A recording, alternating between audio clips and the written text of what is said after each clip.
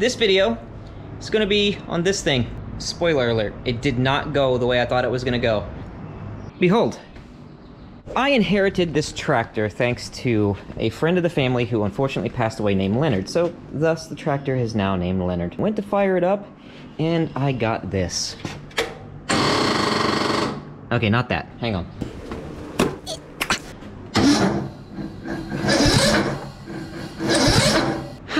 My first thought was a wiring issue because Leonard, the man, not the tractor, was notorious for pulling all of the safety stuff off of the tractors and just wiring random things together.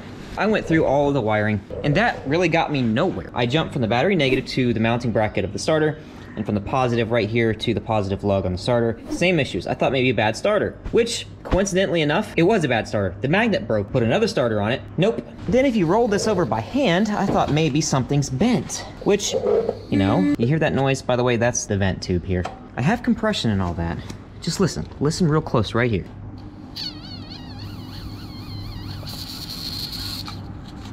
You hear that? Not that. Not that. Not that. That. I was like, what the heck is that noise? Let me grab this. Uh-huh. Head gasket. Oh my god. I don't know if that's the only issue. And I only stumbled across this because of dumb luck. It got a little bit a little bit wet, and I just happened to be looking right in here once I heard that noise. If that's the only issue, that's a really cheap fix, but I won't know until I take the head off of it.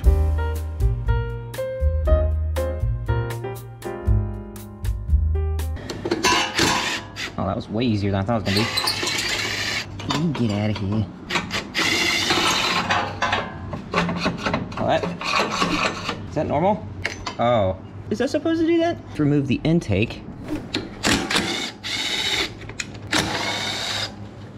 Let's leave all the linkage together. Let me pull the valve cover off just to see, because I want to pull the push rods out. Just take a look, see if that tells us anything. Oh no. Uh-oh. Well, that is a big issue there. Ah, boy. Oh, no. Oh, no. That explains quite a bit. I would say that maybe hydro-locked. There's your set screw. That guy, well, the guide, is it broken? Is the guide broken? Yep, it's broke. One thing I do know about these engines is this push rod here is aluminum, and this one's steel. That's interesting. Is the is this one bent too? Oh, it is bent. It definitely hydro-locked. When you have a head gasket leak or something like that, what ends up happening is you get liquid in the cylinder. You can't compress that. Now we'll pull the head off to take a look.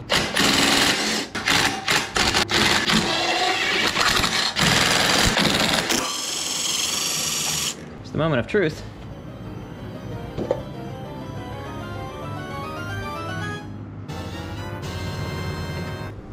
A little bit of scuff on the cylinder here and just like deposits right there.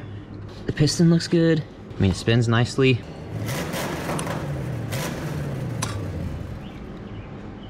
Right here, it looks bad. It looks like exhaust gas are escaping right through here, which makes sense because you can see here, here, and here, this whole area, there's exhaust gases escaping. That's what these marks would be.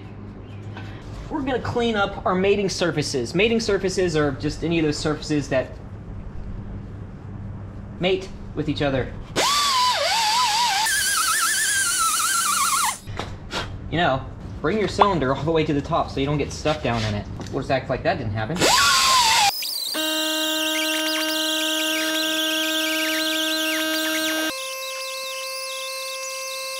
I've heard people who really highly suggest never cleaning off the top of your pistons. But I'm just curious if anybody else has heard that argument before.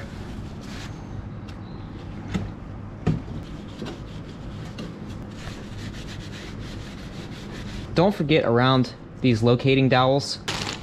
Well, the mail came. Got this from one of my subscribers.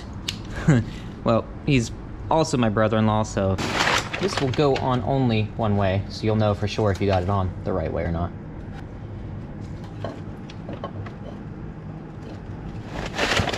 Just like that. When you do head bolts, there is a sequence and a torque spec for all this stuff, so don't just, you know, go tightening crazily. I'm just going to snug it down, and that's all I'm gonna do for now. All right, now we need to pull this plate out. I just, the whole stud just, oh, it's all, it's all one. Okay, I thought that was just a nut. I guess not. Perfect. Torqued to perfection. Push rods. You could probably get some assembly lube or something like that for like $10, or you could just use some old oil, which is all I'm doing for this. Hit the ends of these. Put these back in. Don't forget these. These are little caps here that go right on there.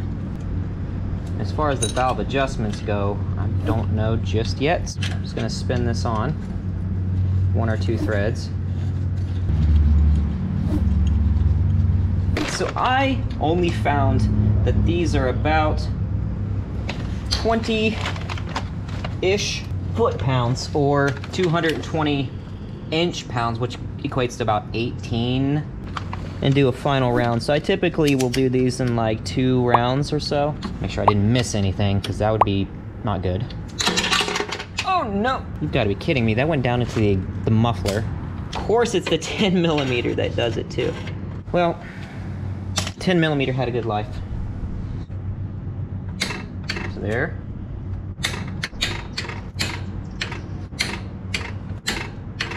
Undo your torque wrench. Don't leave pressure on it.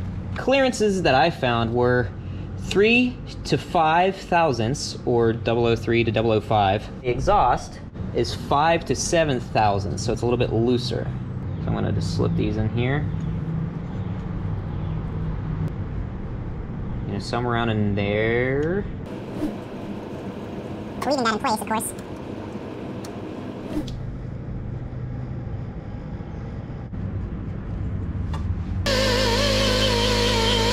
Just got some super cheap RTV. I'm just gonna smoosh it right on here. Around that bolt hole. Because if you miss the bolt hole, you'll hear about it. But Get a nice even surface, good coverage. Give it a couple minutes to semi-cure or semi-skin over. And that way, when you do put the pieces together, it doesn't just smush out the sides. It's there to take up some of that space and the inconsistencies and create a good mating surface. And if you smush it all out the side, you're creating a really paper thin, quote, gasket.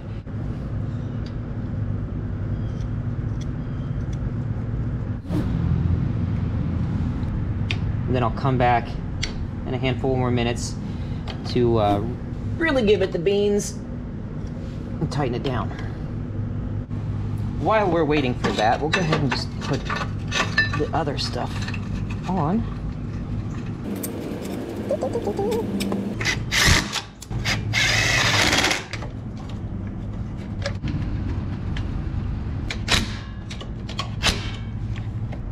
And you can see, I think maybe, it's not squishing out as much. All right, let's give it a spin. Okay, the moment of truth. Either good things or bad things are gonna happen.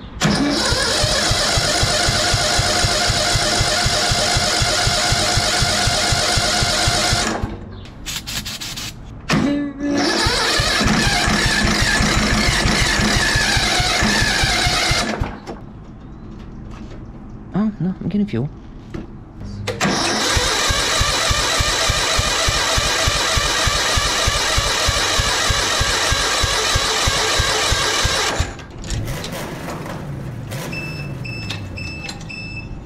Well, I pulled the valve cover back off. Watch this right here as I spin this over by hand. As soon as I come around this way, the rocker moves right here.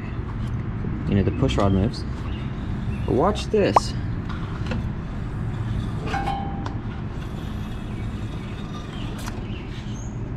Notice anything? It didn't move at all. Not one bit. Well, that's good. Kind of sucks, obviously. Um, I don't know if I'm going to end up tearing this motor down to even put a cam in it. It's even worth my time to do it. Um, it'd be fun to maybe just make a video out of. Who knows what I'll find inside of it? Maybe it's not a cam. That's just my guess right now. So I got other projects to do. I gotta update you on, well, this. Let me get a better view here. And it looks sort of like a car. And I have another project that I'm going to unveil here soon enough. If you have any guesses of what it is, put it in the comments. If you're one of the people who actually know what this is, kind of disappointed in not being able to get the tractor fixed. Probably should have pulled the entire engine apart and checked. Anyway, if you like this, or if you were just halfway entertained, or you learned what not to do, commenting apparently helps out a lot. So if you got something to say, please let me know. And don't forget to hit the subscribe button and subscribe to the channel because, you know, I'm gonna unveil that project. If you're coming from maybe a Corvette video, don't worry, there'll be more on the Corvette. It's not gone. You never know what else I'm gonna get into at this point. I appreciate you hanging out with me, and uh, I'll see you in the next one. I gotta, there, okay.